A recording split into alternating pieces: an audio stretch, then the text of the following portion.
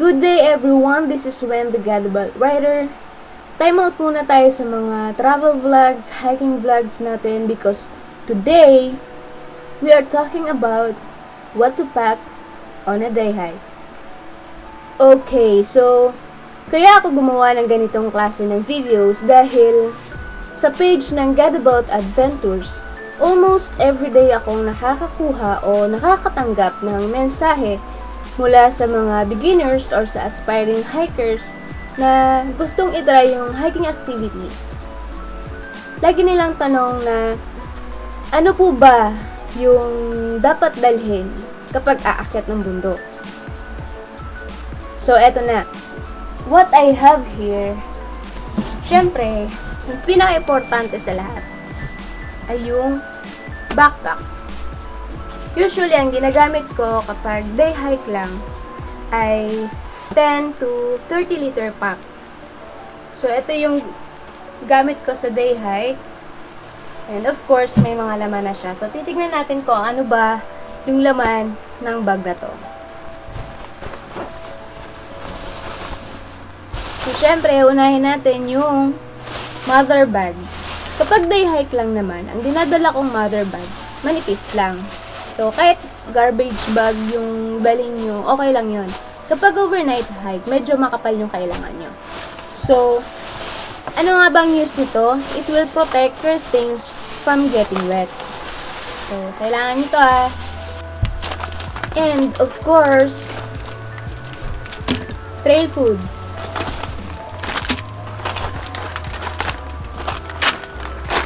So, bakit nga ba natin kailangan ng trail foods? Siyempre, kapag nag-hike tayo, uh, nauubos yung energy natin. So, kailangan natin ng sugar.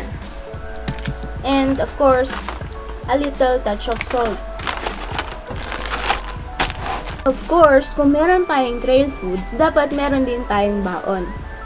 Kaya, sobrang useful kapag meron kang sariling baonan.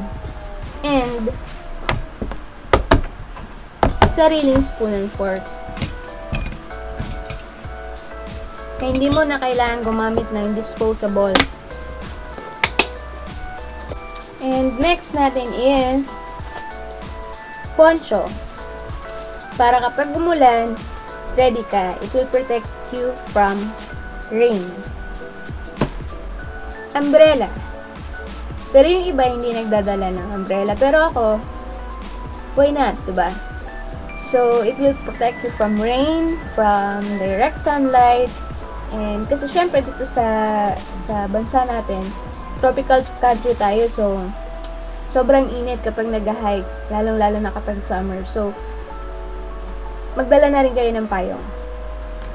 And wipes.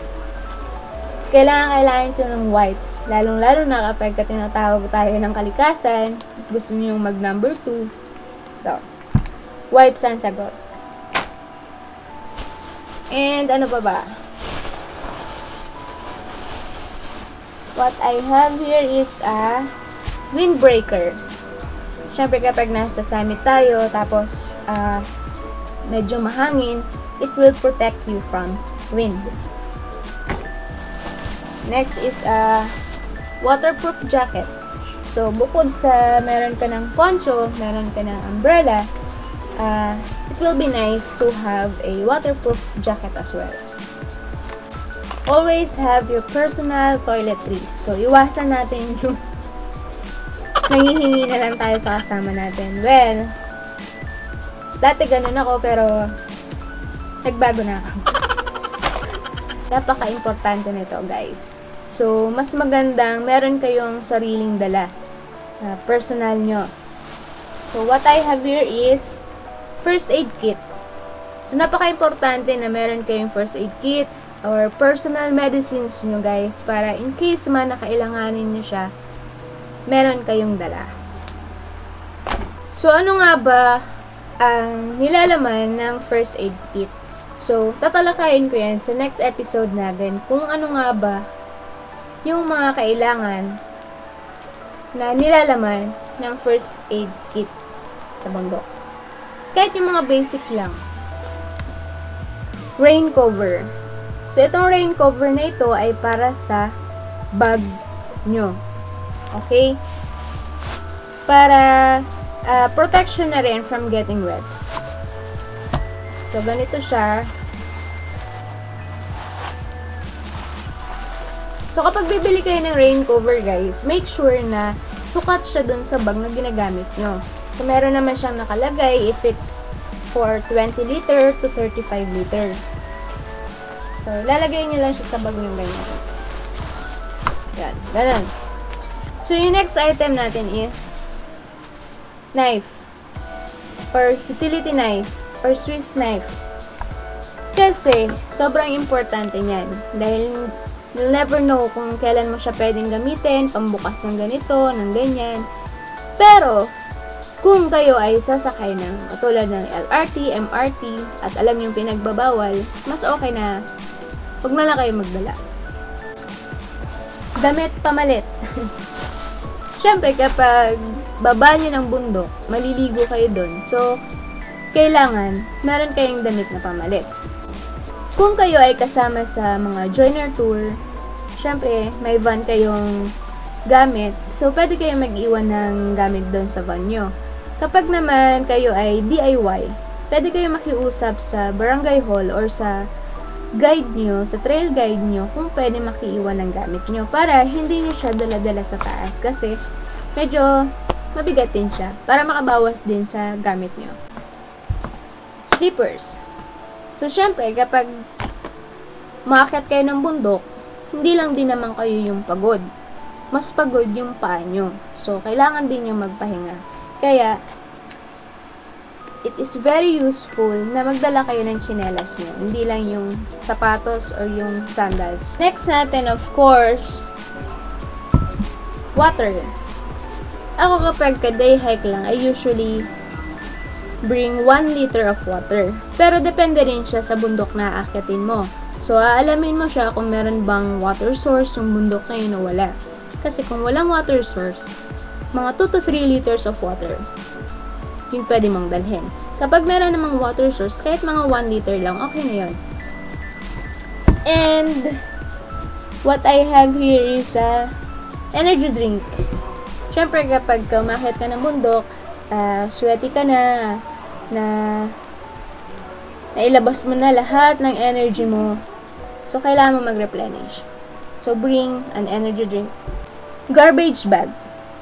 Always have your own garbage bag. Kasi, kung ano yung basurang inakyat mo, kailangan mo yun ibaba. So, bawal na bawal po ang magkalat sa bundok. LNT principles, guys. And very useful din to. If ever man hindi mo siya nagamit, pwede mo siyang paglagyan ng damit na medyo smelly. Next is sunscreen. So, malaking tulong yung sunscreen kasi syempre dito sa ating tropical country tayo, mainit lalo kapag summer, hindi mo namamalaya na susunog ka na pala. So, mas okay na maglagay ka na lang ng sunscreen, lalo na sa mukha. Insect repellent. So, we'll never know kung kailan natin to kakailanganin. So, it's nice to have one na rin. Alcohol. So, sobrang useful neto, lalong-lalo na right after mo mag number 2.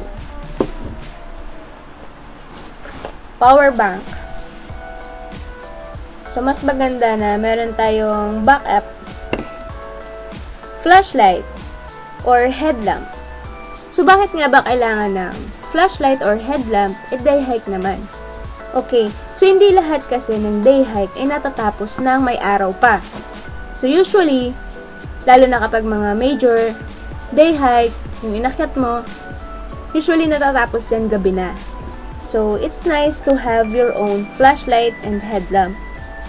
Next item natin is very useful siya.